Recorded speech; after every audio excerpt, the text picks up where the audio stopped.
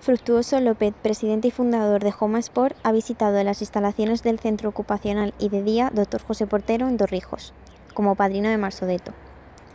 Ha sido acompañado por el alcalde Anastasio Arevalillo y la concejal de Bienestar Social Rosa María Quirós, quienes, junto con profesionales del centro, le han estado mostrando las diferentes aulas de las que dispone. Pues me ha llamado la atención bastantes cosas ¿no? que no me esperaba.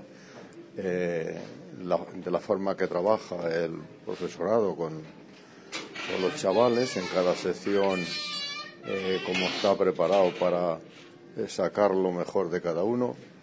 Eh, ahora estamos en el taller de donde se están fabricando pues unas piezas que luego se pueden vender porque es algo interesante y me ha gustado mucho eh, cómo es el centro y el ambiente que hay de profesorado, de alumnos. La verdad es que me he quedado sorprendido.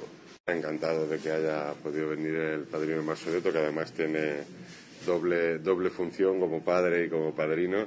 Y nada, estamos desde el Ayuntamiento de Torrijos encantados que venga a verlo, que vea las instalaciones, que vea lo que se hace aquí que seguimos apostando por este centro ocupacional y de día. La visita ha finalizado en el centro de atención temprana de la localidad, que ha ampliado sus instalaciones a seis aulas más y con ello ampliando también su personal para que los 320 niños y niñas que acuden sean atendidos de forma individualizada sin ningún tipo de problema.